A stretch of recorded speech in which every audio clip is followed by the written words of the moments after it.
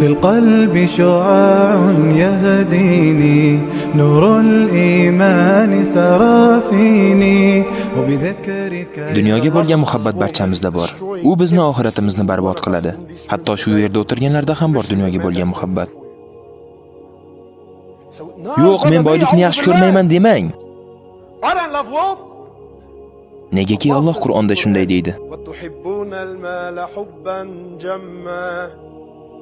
Alloh sizni boylikka cheksiz muhabbatingiz bor deydi.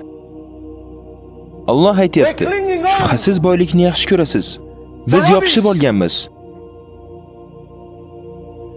Biz tashlab ketadigan boylikka yopishib olganmiz. Dunyoda qoladigan boylikni qattiq ushlab olganmiz. Bu muhabbat oxiratimizni kuydiradi. Bilasizmi, men bu yil hajga bordim. Allohga shukr, men anchadan beri ilm olaman. Katta-katta domlalar ma'ruzalarida bo'ldim.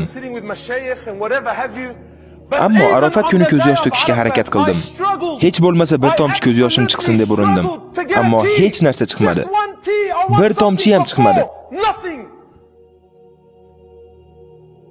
Sababi bu yurak shungagina qodir edi xolos. Negaki bu yurakni Allohga bo'lgan muhabbat o'rniga men dunyoga bo'lgan muhabbat bilan to'ldirgan edim.